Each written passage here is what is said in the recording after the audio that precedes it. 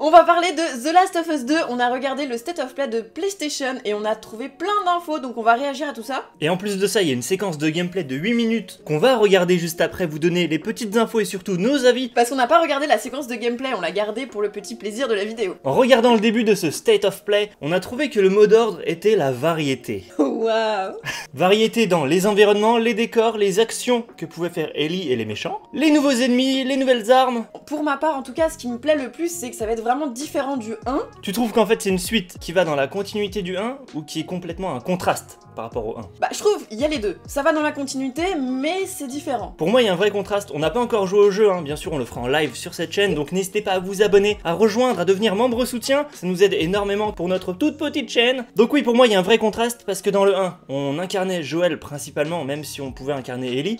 Mais Joël, c'était un mec qui avait vécu dans un monde normal. J'ai fait les guillemets en mode ringard. Et Ellie, par contre, elle a complètement vécu et euh, elle est née en fait dans ce monde dégueulasse. De zombies. Elle a pas ce côté humain, tu vois. Elle a moins ce côté humain que Joël pouvait encore avoir en étant plus âgée. Et du coup, on trouve que dans les images qui ont été montrées, elle va être vraiment très brutale. Elle a plus ce côté euh, petite fille, un peu chétive, euh, qui grandit, qui a des peurs. Elle est en mode euh, tu me fais chier, je te tue. En mode Rambo.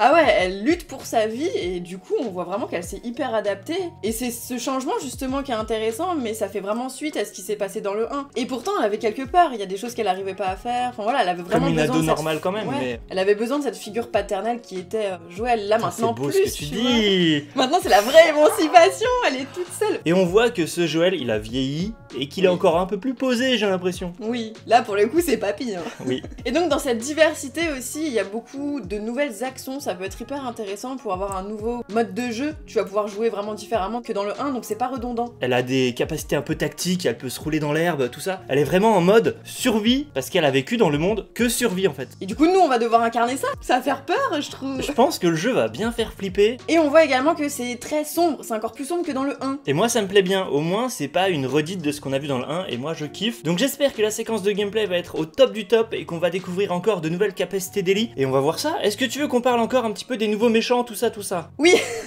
ces nouveaux méchants, il y en a un qui est horrible. C'est le puant. euh, le puant horrible. Moi, ça me fait penser euh, quand euh, tu vois des trous dans la peau.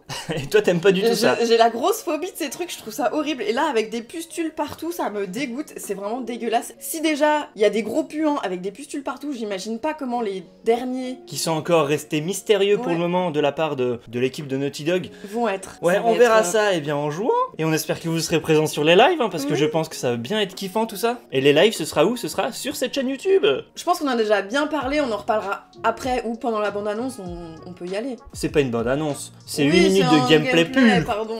Donc on est parti. On est parti, on est parti. La séquence de gameplay inédite, on la lance. Moi, je me suis déjà un peu spoilé les 30 premières secondes. Donc maintenant, Ellie peut nager. Ellie n'a plus peur de l'eau, elle a évolué.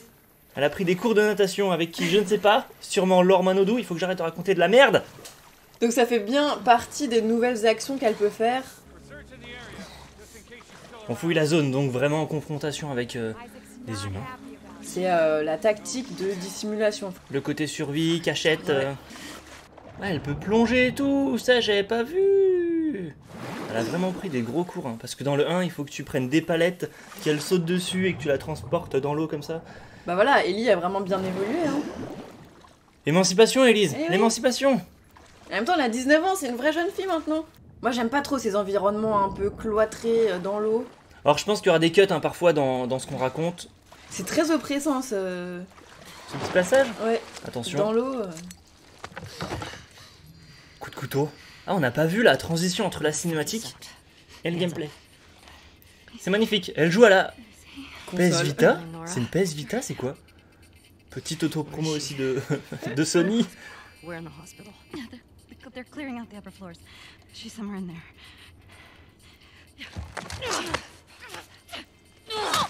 Oh, d'accord.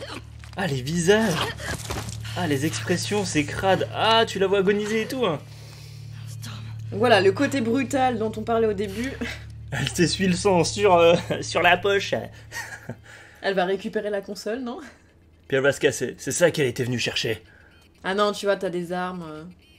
Petit côté crafting qu'on adore. Dans le 1, j'aimais beaucoup, moi, crafter des choses. Les bombes et tout, j'en avais toujours plein parce que je gardais tout. J'étais hyper euh, radin là-dessus. Donc les méchants. Donc la partie, euh, la grosse partie du jeu se passera à Seattle, c'est ça? Oui. En partie. Hein. Hey, we get the job done.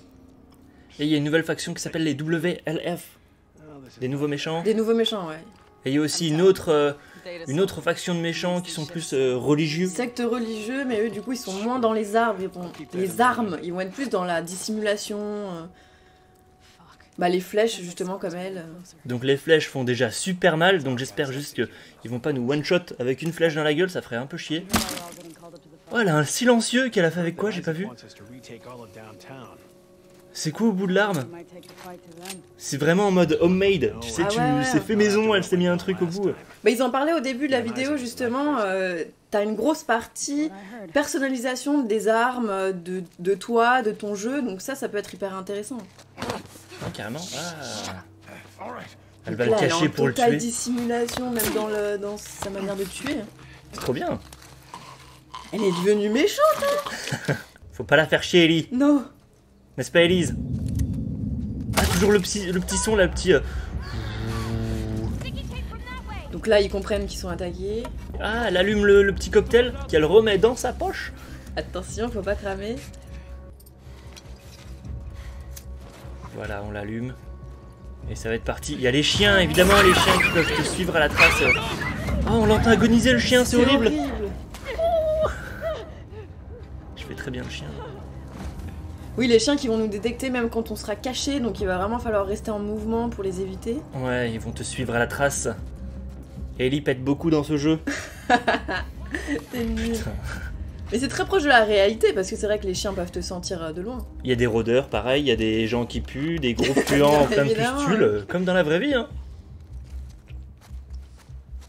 Il y a beaucoup de tension, je trouve.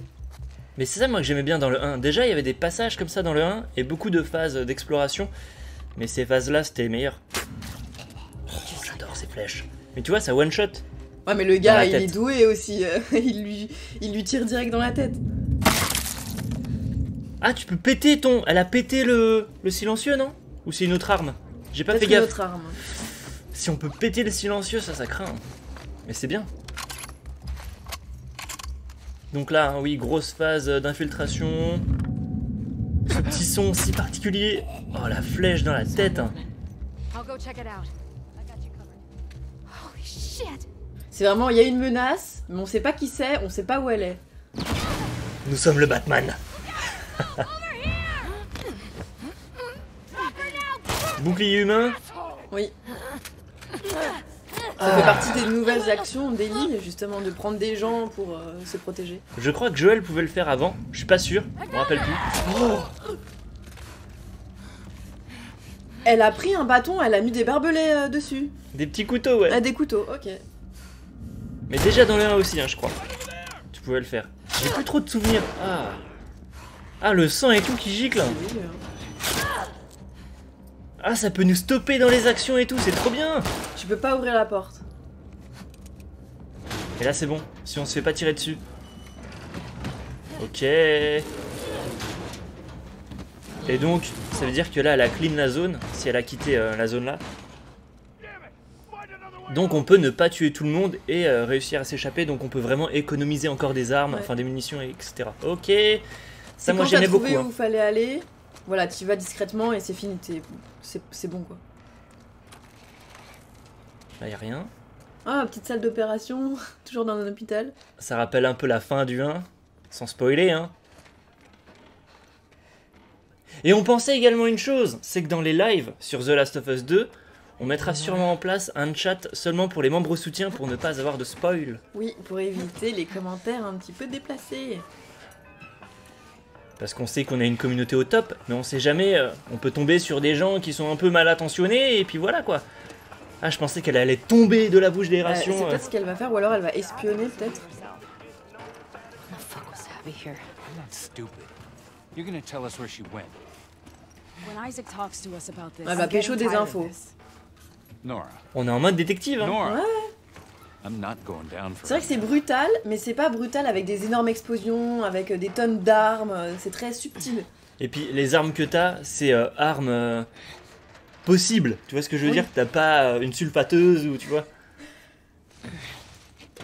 C'est vrai qu'il y a un côté très réel. Il y a une menace qui est euh, complètement inventée, hein, mais euh, il y a une menace réelle. Et encore, le cordyceps, le champignon qui infecte les gens, c'est un champignon qui existe, Mm. ouais. Qui s'attaque aux insectes et tout ça, quoi. Ah, il a pas pris scotch. euh, le scotch sur le côté. Parce qu'il pèse dans le game, le mec qui joue là. Il sait trop bien jouer, donc euh, il a pas besoin de ça. Cinématique? On voit pas les transitions avec les cinématiques. Ça, j'aime beaucoup. Ça me fait penser à God of War. Mais il y a des cuts. God of War, c'est que en plan séquence.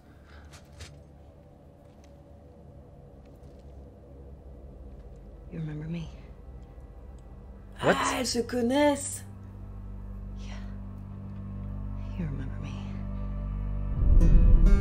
C'est fini Quoi Ça passe trop vite en fait. C'était 8 minutes Donc on voit à la toute fin qu'il y a des gens qu'elle connaît qui sont dans le camp adverse. Enfin, dans les... Dans les méchants, quoi. Ouais. Moi, j'aime beaucoup. J'ai beaucoup aimé. Et Oui. je suis content qu'ils aient montré une phase d'infiltration. Comme ça, ça en dit pas trop sur l'histoire principale. Alors, Elise, dis-nous un petit peu ce que t'as pensé de cette petite phase de gameplay de 8 minutes qui est passée en 2 minutes. C'est clair. bah, c'est hyper intéressant au niveau de l'infiltration. Moi, j'ai vraiment l'impression qu'on va incarner une Ellie en mode soldat tactique.